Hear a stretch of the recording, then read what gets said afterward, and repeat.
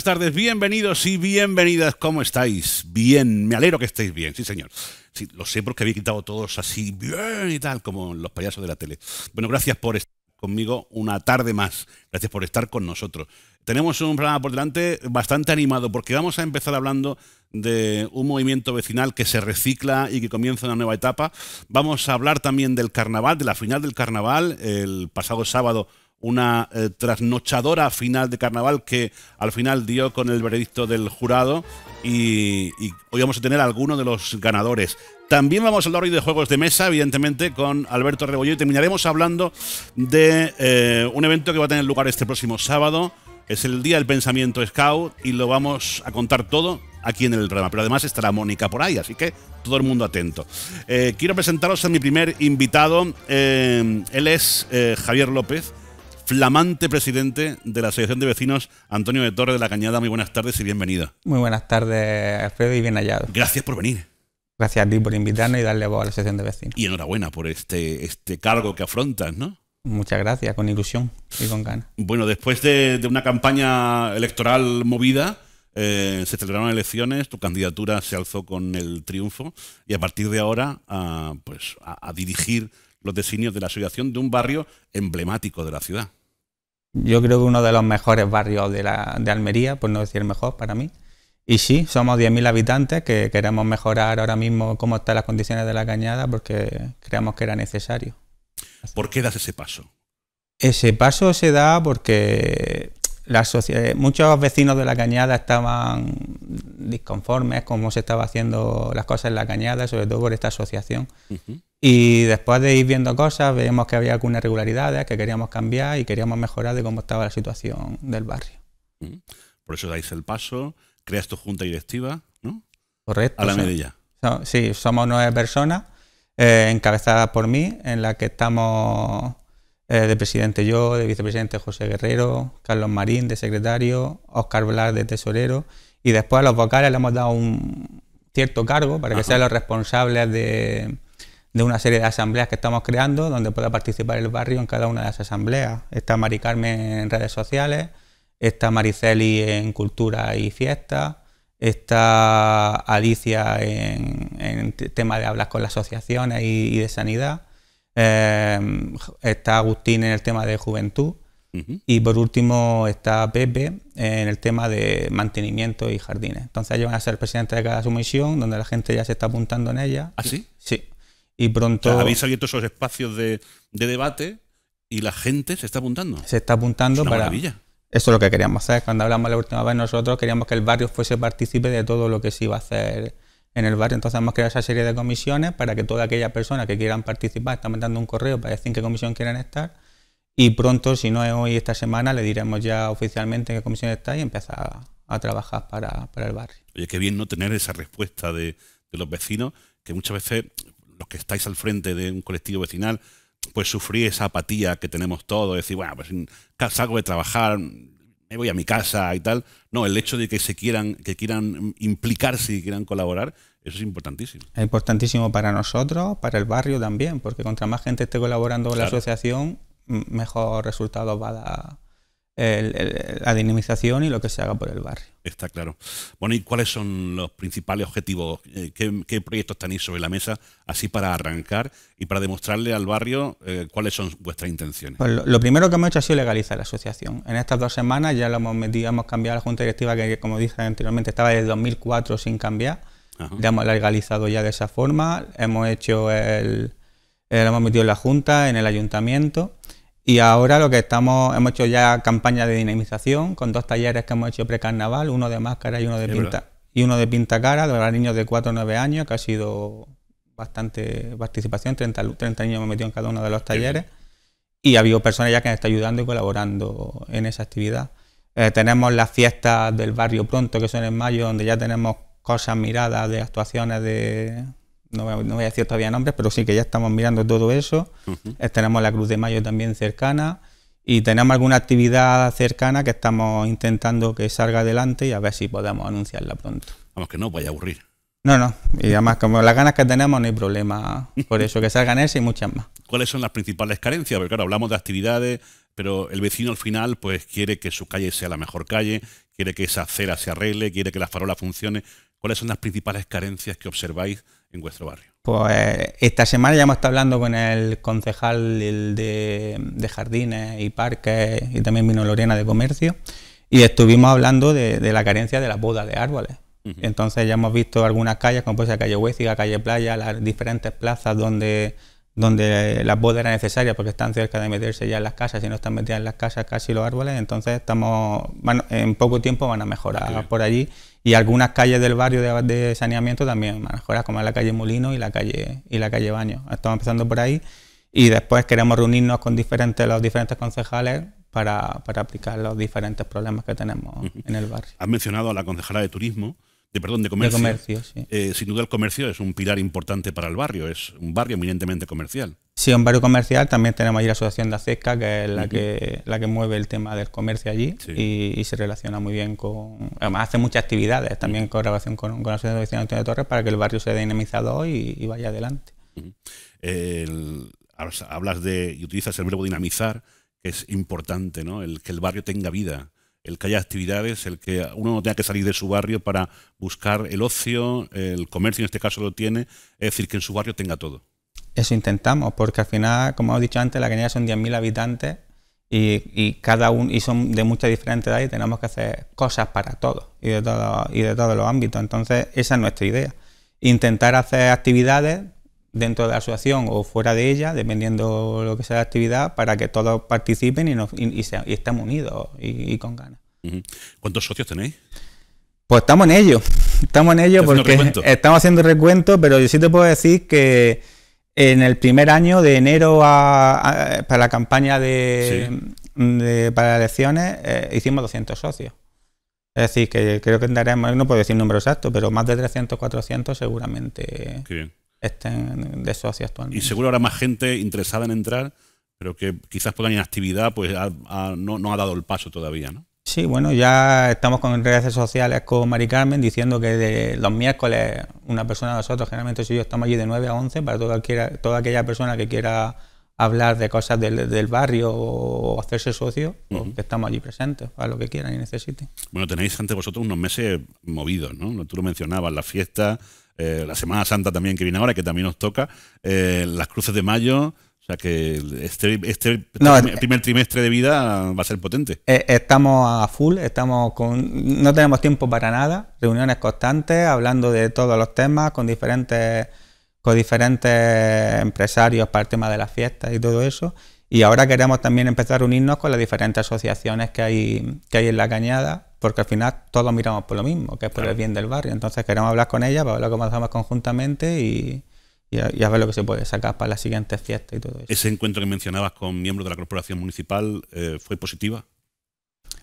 Eh, lo que es presencia de, concejales todavía no lo hemos tenido. Estamos empezando esta semana. con Lorena y con. Ah, bueno, sí, sí, eso fue, pero sí, sí, fue muy positiva. Porque sacamos cosas claras para ir mejorando el barrio, como son las podas de árboles y algunas calles para el saneamiento de, las calles. Entonces fue muy positiva y además se comprometieron para en poco tiempo empezar a trabajar en, eso. Así que muy bien. ¿Qué le dirías a los vecinos de La Cañada que están viendo?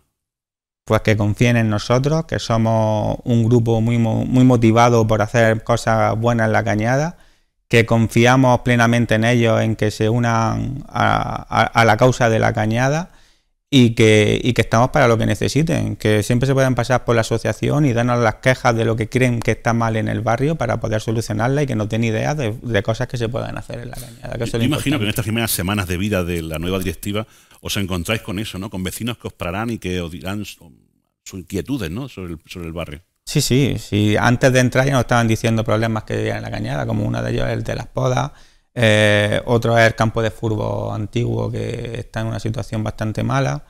Y el tema de calles, por supuesto. Hoy, hoy nos, nos verá un vecino hablando también de una de las calles que está mal, porque cuando llueve se mete mucha agua, y hay que buscar solución a eso, que la casa se empeora de tanto agua que Sí, llega sí. por arriba.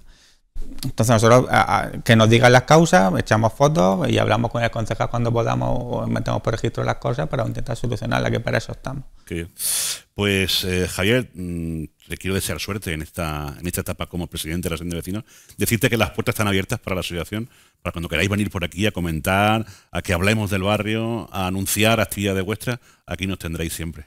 Pues nosotros estamos encantados y muchas gracias por la felicitación y seguro que estamos en contacto durante mucho tiempo. Eh, mm, eh, te iba a decir que te marcharas, pero eh, me gustaría que mm, cerraras los ojos y me dijeras un rincón del barrio que el resto de la ciudad no conoce y que debería conocer. Yo te cierro los ojos y hay muchos rincones. Uno es la casa donde nació Antonio de Torres, por ejemplo. Allí la tenemos la casa que, que- que está arreglada. Antiguamente era una peña flamenca ¿sí? donde se hacía actividades. Eh, Es verdad que la presidía mi padre en ese momento. Y, y nos gustaría también que fuese un rincón de las actividades, porque queremos hacer una semana cultural en octubre, demostrarse al barrio también con nuestras actividades allí dentro. Es decir, que podamos hacer muchas actividades en la caña de diferentes zonas para que no tenga como la- toda la gente moverse en un sitio específico, sino que es tan importante la Y caña. además que es un lujo tener en el barrio la casa donde nació Antonio de Torres, ¿Eh? un personaje de sobra conocido en todo el mundo, ¿no? Sí, que es un lujo. Además, es que es la, la- la casa más importante, o sea, una de las zonas más importantes que tiene la Cañada ahora mismo, con la plaza de Antonio de Torres también. Y muy, entre descono- ellas. y muy desconocida, ¿no? Y muy desconocida, sí, porque al final eh, se hizo también el Museo de la Guitarra, pero la casa, la casa al final de Antonio de Torres está allí en la Cañada. Y es importante que yo animo a todo el mundo que pueda que se pase allí a verla. Está claro. Pues ahora sí, Javier López, muchísimas gracias. Muchísimas gracias, Lo dicho, aquí tenéis vuestra, vuestra casa. Muchas gracias. Un saludo Alfredo. a todos los vecinos de la Cañada, que son vecinos nuestros, que vivimos a tiro de piedra. Eh, bueno, no os tiréis piedras por si acaso. Y eh, un saludo a toda la directiva de, de Javier. Desearle también suerte como lo hemos hecho con el presidente. Bueno, nos podemos ir con Mónica. Compañero. Bueno, eh, me voy a ir con Mónica. Mónica creo que está en el Teatro Apolo de la ciudad. Hoy se celebra eh, una gala muy especial en este espacio escénico de la ciudad, una gala muy especial que es la gala de, de la Asociación Asperger Almería. Ayer fue el Día del Asperger, se celebraba en todo el mundo. Eh, estos días atrás ha habido un montón de actividades relacionadas con el colectivo y sobre todo relacionadas con este trastorno. Y hoy se celebra una gala donde va a haber música en directo, la música de Mar Hernández, se van a entregar premios, distinciones, en fin, va a ser pues un momento de encuentro. Así que me voy hasta el Teatro Apolo con ella, con la gran Mónica Aldehuela. Mónica, buenas tardes. Hola, Mónica. No, voy. ¿Cómo que no me oyes? ¿Cómo que no? ¡Ey! ¡Mónica! ¡Hola! ¡Hola, Mónica! Parece que no nos oye Mónica. Está claro, ya se han abierto las puertas del teatro, está entrando el público, y imagino ahora Mónica diciendo, ¿yo qué digo ahora? No me oye. Bueno, Alfredo, me- no sé si me estás escuchando, yo no te estoy Yo sí. escuchando. Yo sí. Bueno, pues si no me. No sé si me escuchas, yo a ti no, así que te cuento que nos hemos venido hasta el Teatro Apolo porque ayer fue el Día Internacional del Síndrome de Asperger y hoy la Asociación Asperger Almería celebra la octava edición de su gala benéfica. Tenemos con nosotros a la presidenta de la Asociación, Amparo García. Muy buenas tardes, Amparo. Buenas tardes. Un año más celebrando este día tan importante para vosotros. Sí, un año más celebrando este día tan importante para nosotros, donde se reivindica, se hacen las reivindicaciones que siempre pedimos tanto a las administraciones públicas como, como las administraciones privadas, ¿no? Y entonces es un día muy, es un día muy significativo en la asociación y a- alrededor de este día hemos hecho una semana de, forma- de formación y sensibilización también muy significativa porque este año hemos incidido en el empleo, hemos incidido también en una oficina de, de delitos de odio y prevención al suicidio que vamos a tener a partir, bueno, de- a partir de enero de este año, la tenemos ya en la sede y bueno, y muy contentos con toda la colaboración de las administraciones y la colaboración también de entidades del, del tercer sector que colaboran con nosotros. Vamos a contar un poco, Amparo, en qué consiste el síndrome de Asperger. Bueno, el síndrome de Asperger realmente es una discapacidad psicosocial. es un problema que, bueno, que ellos procesan de una manera diferente a nosotros y son gente que no entiende, como me dicen los adultos, no entiende la sociedad que los rodean. Para ellos ni la sociedad, ni entienden la sociedad, ni la sociedad lo entiende a ellos. Hay gente como muy eh, de comportamiento rígido, em, eh, con reglas muy, o sea, tienen, están como muy reglados y no, sus reglas no, no las pueden, no las pueden, a ver si las, si se rompen, tienen mucha ansiedad, ¿no? Entonces son personas que se aíslan, que tienen problemas también de comprensión de los dobles sentidos, entonces son personas con las que se tienen que trabajar mucho, ¿no? Son las personas que se aíslan, estos niños que, y niñas que tenemos en los centros escolares, aislados en los patios, que no juegan con nadie, que no tienen amigos, precisamente porque no tienen las habilidades sociales eh, que necesitan para hacer todo este tipo de relaciones con sus iguales. Vosotros este año habéis centrado vuestro manifiesto precisamente en eso, en el acoso escolar. Sí, nosotros este año el manifiesto a nivel, porque el manifiesto se lee a nivel de, España, a nivel de, está hecho por ellos mismos y está hecho a nivel de, la Confederación. Nosotros estamos en la Confederación y la, Federación de Andalucía del Signo de Asperger se ha centrado precisamente en el acoso escolar porque el acoso escolar son como son, o sea, cuando ellos tienen acoso escolar, pues como son muy recurrentes, nunca lo olvidan, siempre mm, eh, vuelven y vuelven y vuelven. Y entonces les lleva muchas veces y hemos tenido, por desgracia, mm, ya muchos intentos suicidas, ¿no? Los llevan a, tener intentos suicidas e incluso a, intentar quitarse la vida, ¿no? Y claro, el acoso escolar es una de las grandes lacras que tenemos porque lo inhabilita luego incluso en su vida adulta, porque ya te digo, como son recurrentes, eso nunca se le olvida y ellos siguen rumiando ese tema.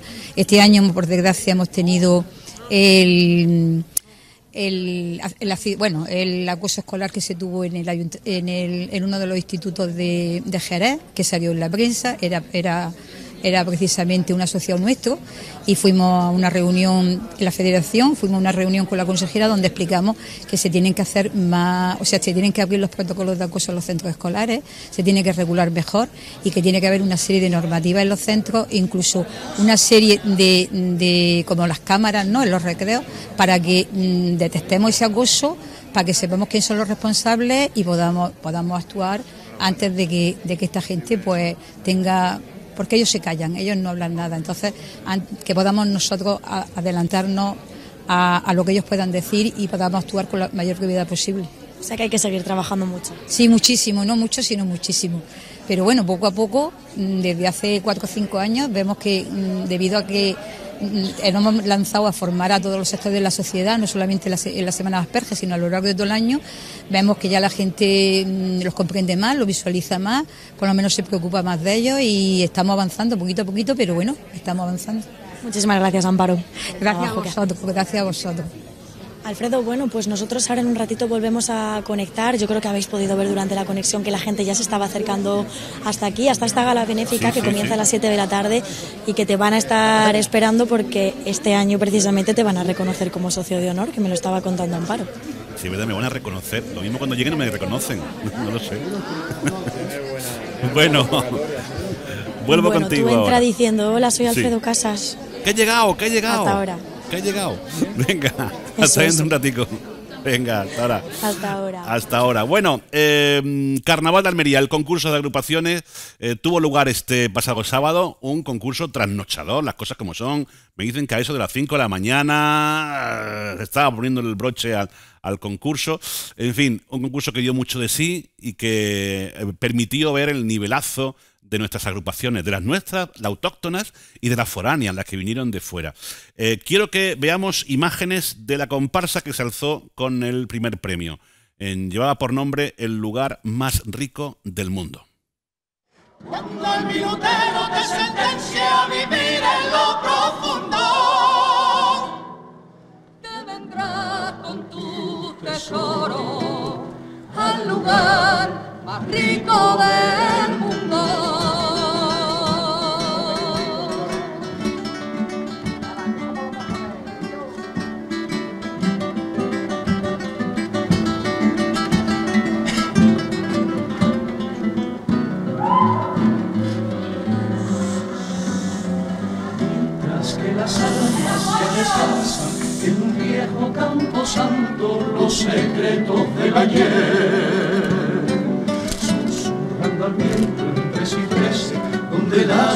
Sombras se enredan, ya no existe padecer. Se cuentan historias de amorío, donde las almas eternas entre flores llorarán. La luna testigo de tristeza, Escucha gemir al aire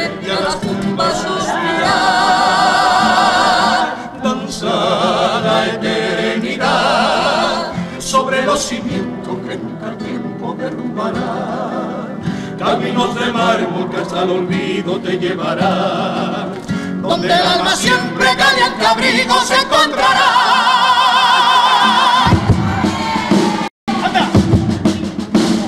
Suena la canción al son del viento sobre un pasado sombrío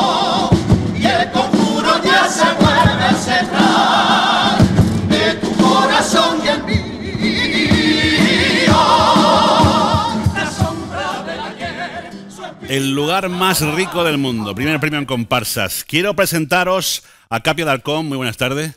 Bienvenido. Y Alejandro Marín, buenas tardes. Muy buenas Hay que decir que. Capio Darcón forma parte de esa comparsa eh, que acabamos de ver, la comparsa ganadora, y que Alejandro eh, forma parte de la chiricota, la murga, que hizo lo propio en su modalidad. Ahora hablaremos de eso. Pero antes, Capi, dime cómo están los cuerpos. ¿Cómo se lleva eso de ser eh, ganadores? Y además, ha sido llegar y besar el, sal- el santo, ¿no?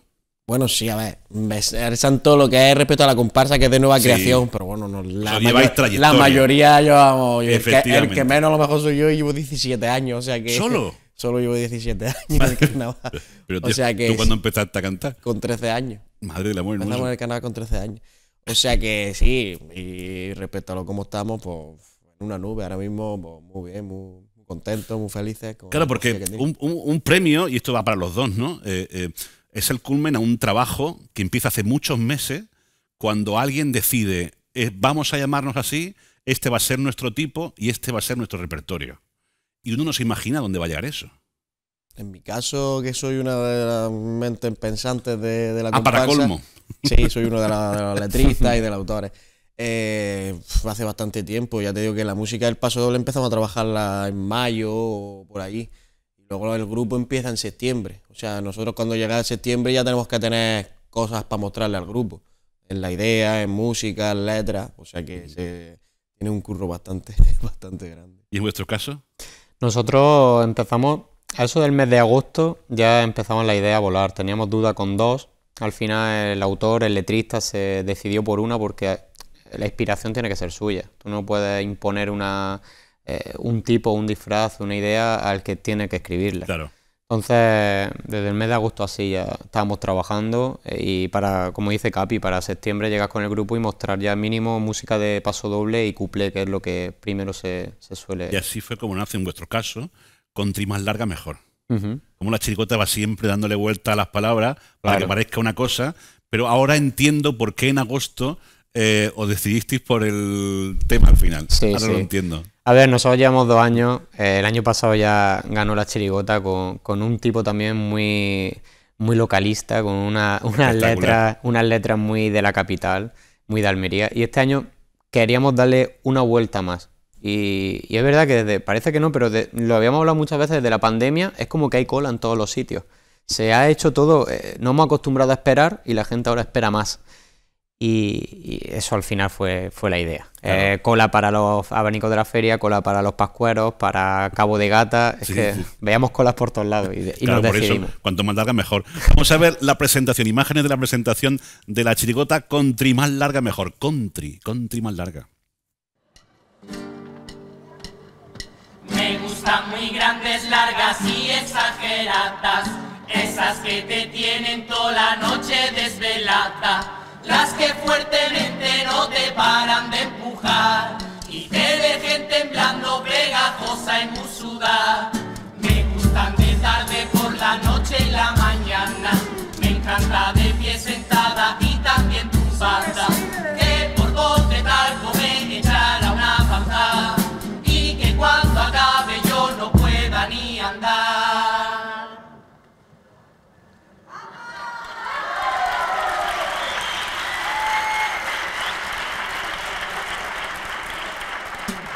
Salvaje.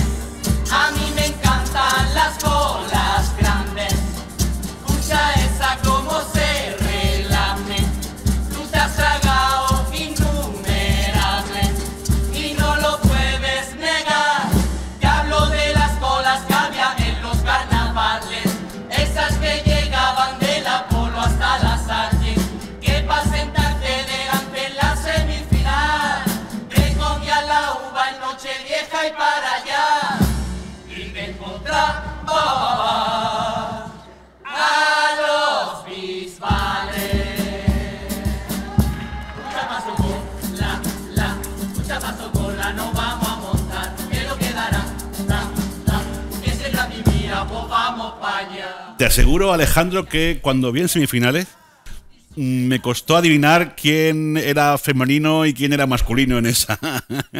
tirada. Os habéis metido completamente en el papel.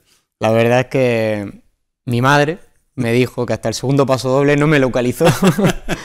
Eh, hemos tenido mucha ayuda. eh, hemos querido darle una vuelta más a esto que es el carnaval. Hemos. Mi cuñado, que es Diego Armando, director de teatro, sí. muy conocido aquí en Almería, eh, vino a echarnos una mano.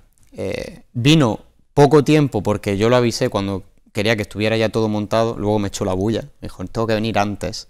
Y nos ayudó a, a todas esas dudas que teníamos a la hora de la interpretación, de Sí. cómo hacerlo. Y al final es el resultado. No solo ya por haber ganado, pero es el resultado de que la gente de semifinales nos decía el comentario que tú no acabas de hacer. No sabía cuántas mujeres había realmente. Llevamos una y había hasta peleas porque decían que no, que llevamos más de una. Y yo, que no, que no llevamos más de una, llevamos una, una chica, el resto somos chicos. En Y- vuestro caso, Capi, es verdad que la puesta en escena espectacular. Bueno, las dos, ¿no? Pero es verdad que la vuestra, compasa siempre, se, se- se rodea de, un- de un- una escenografía eh, importante y dejaste a todo el mundo también alucinado, ¿no? Sí, bueno, me costó mucho trabajo hacerla, pero dentro de lo que cabe, pues es que tenemos que ambientarnos dentro de ese cementerio. Claro. Si no, el mensaje a lo mejor iba a quedarse un poco más vacío. Eh, tenemos que hacer todo lo posible para que la gente estuviera dentro de la idea. Y qué mejor que con el traje y que nos arropara la puesta en escena y que todo el mundo a la vez cortinas ya supiera perfectamente de lo que trataba todo. Y ahora saboreando el éxito, imagino. A ver, el éxito se saborea, porque es verdad que cuando dicen... Es una recompensa, ¿no? A Sí, todo el trabajo que hablamos. Cuando dicen tu nombre, cuando sale el jurado, después de toda esa noche de mucha tensión, pues nosotros, por ejemplo, en nuestro caso cantamos los primeros.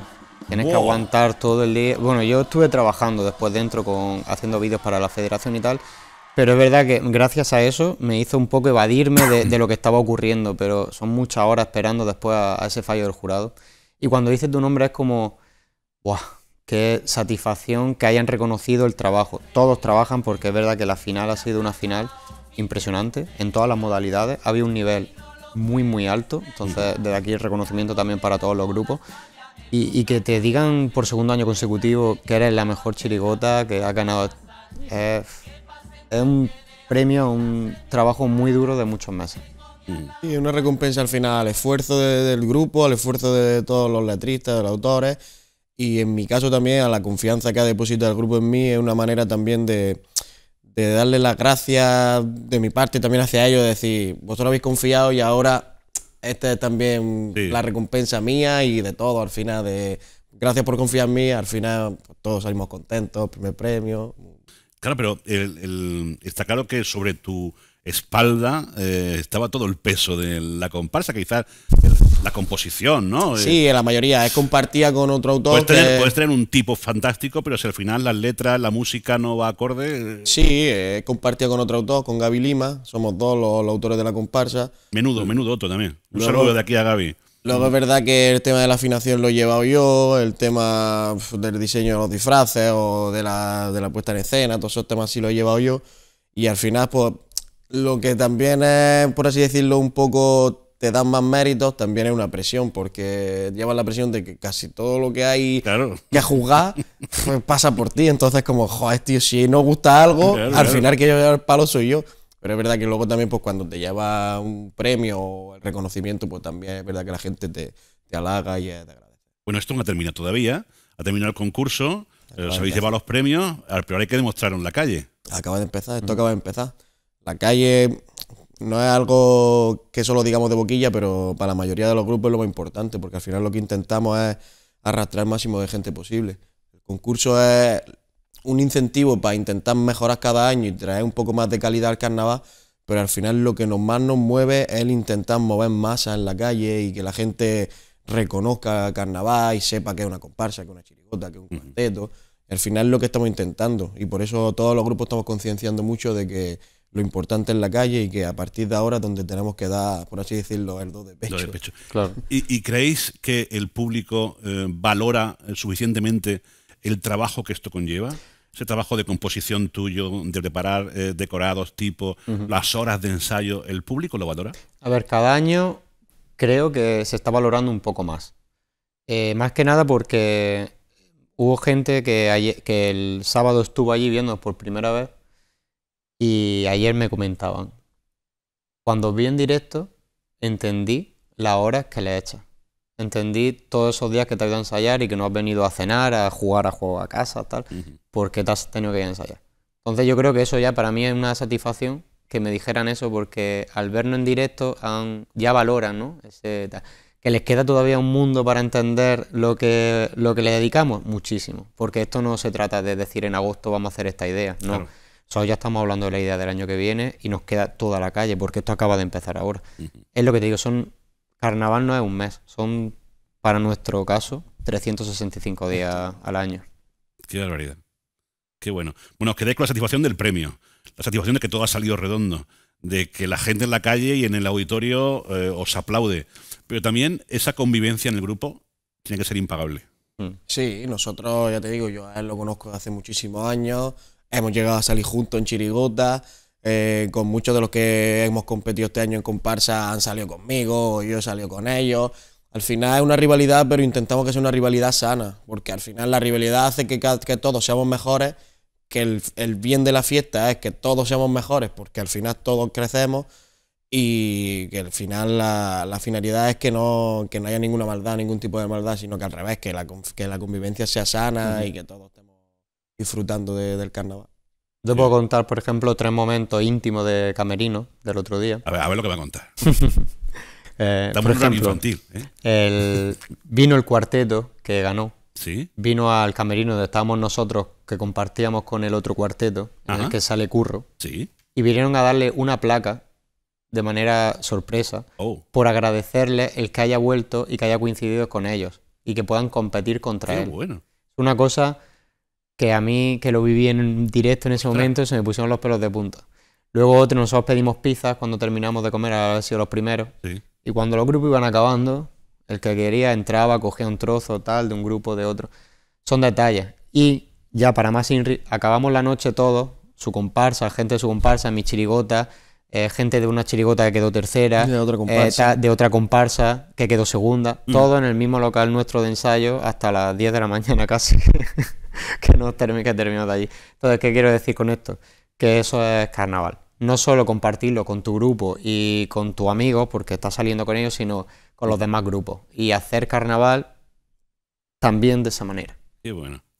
Bueno, pues a vosotros que estáis viendo la tele, y que estáis viendo el programa ahora mismo, deciros que queda la calle, queda lo más importante, que ya arrancó con la fiesta de la Sobrasá, pero por ejemplo el sábado que viene es la, la gran cabalgata, el gran pasacalle de carnaval, que después habrá la noche en color, eh, con los grupos cantando por, por el centro, por el paseo y demás.